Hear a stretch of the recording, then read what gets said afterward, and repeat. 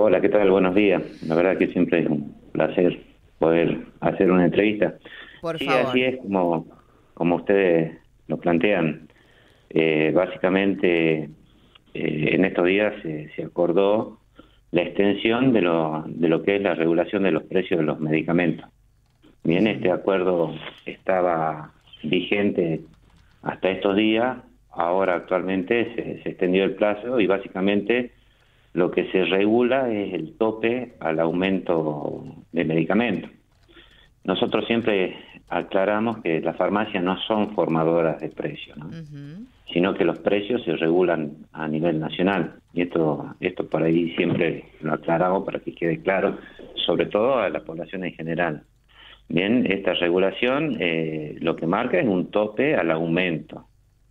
Y en este sentido, eh, el aumento puede, puede llegar hasta, eh, teniendo en cuenta la inflación del mes, hasta el 1% por debajo de lo que marca eh, el índice de inflación, que es el IPC, que es el índice de precio del consumidor. Entonces, en este, en este sentido, no es que los medicamentos no vayan a aumentar, sino que van a aumentar hasta un cierto tope. Ajá. Y eso eh, lo marca claramente el acuerdo que se ha firmado entre los laboratorios, bien, que, se- que son cinco cámaras de, de laboratorio, las entidades farmacéuticas y eh, lo que es el gobierno nacional. Bien, pero dejar bien en claro que los, los- los medicamentos van a estar atados a lo, a lo que es el proceso inflacionario como, como habitualmente viene ocurriendo. Lo que marca el acuerdo es un tope al aumento. Ajá. ¿Y de qué porcentajes eh, estaríamos hablando? Eh, siempre eh, se toma como base el mes anterior. Bien, eh, el mes anterior eh, o lo que fue agosto marcó una inflación del, del 7% aproximadamente. Ajá. Bien, entonces eh, los aumentos en relación a los medicamentos pueden llegar hasta eh, el 6%, bien, en base a este acuerdo. Entonces, eh, hay una, una cuestión también importante con el aumento de, los de los medicamentos que no siempre eh, eh, son todos al mismo momento, Claro. ¿bien? sino que en, en la farmacia van a ver que eh, aumentan unos medicamentos, otros no. Ajá. Esto, esto es básicamente asincrónico, no, no aumentan todo en el mismo tiempo ni para todas las especialidades. En algunos casos se observan dos aumentos en el mes. Bien, pero en base a este acuerdo siempre eh, para este mes, por ejemplo, eh, va a ser hasta el 6% de lo que marca la, la inflación. Bien, se va a extender hasta noviembre, pero ¿cómo ha venido así, eh, siendo el comportamiento hasta el momento? ¿Cómo lo ha recibido la gente, sobre todo, o ha notado eh, el beneficio de, de este acuerdo? Eh, en algunos laboratorios ha sido eh, por debajo, bien, de- del, del tope este. Entonces, en algunos, en algunos casos eh, no ha sido tan notorio, pero en otros casos sí, porque hay medicamentos que, que la verdad que hoy son, eh, son caros, bien, y si nosotros tomamos la, la inflación en, un, en, un, en el periodo de un año, los medicamentos han aumentado el 70% aproximadamente. Claro. Y en lo que va del año eh, va aumentando aproximadamente un 55%.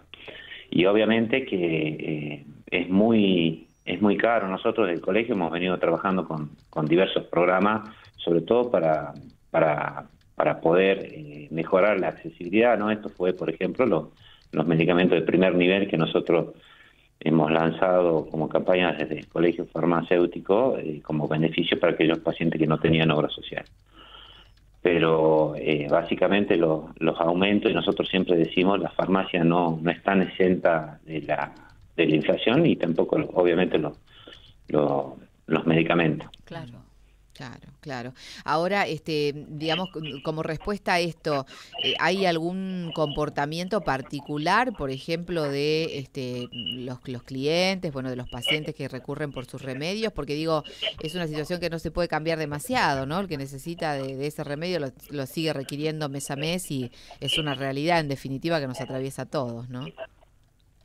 Sí, bueno, nosotros eh, tratamos de acompañar y escuchar siempre al paciente, ¿no?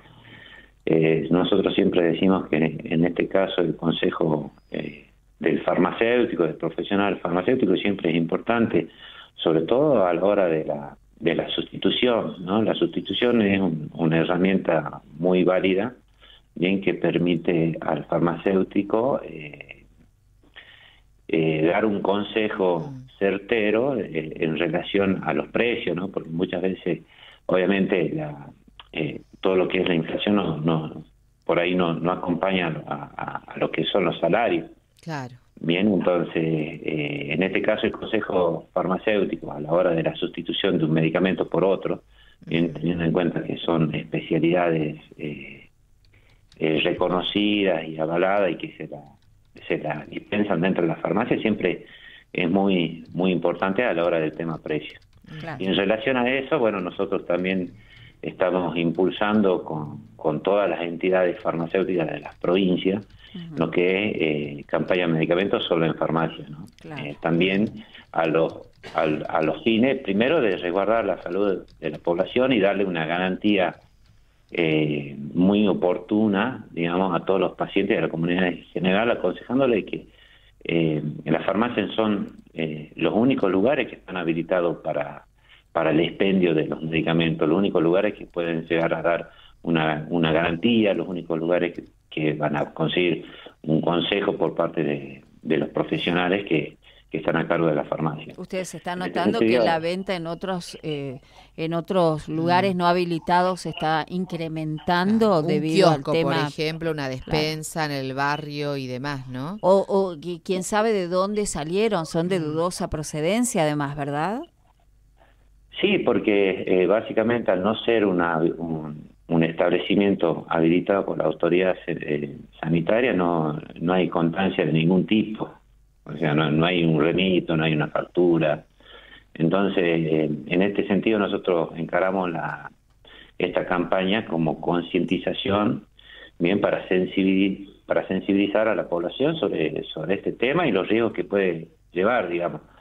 Eh, un medicamento eh, siempre debe estar eh, bien conservado, por empezar, ¿no? Hay, hay medicamentos que son termolábiles, otros que son termosensibles, otros que requieren un tratamiento completo, bien, y en estos en estos lugares que no están habilitados, o sea, no no la, la población no tiene garantía, bien, y esto esto hay que dejarlo bien en claro, porque eh, no solamente los medicamentos con receta y los con receta archivada o los que son estupefacientes son o pueden ser dispensados en, la farmacia, sino también los de venta libre. Los de venta libre, o sea, deben ser dispensados en, la farmacia y ese es el lugar y el único lugar que, que pueden eh, acceder los, los pacientes de la comunidad en general.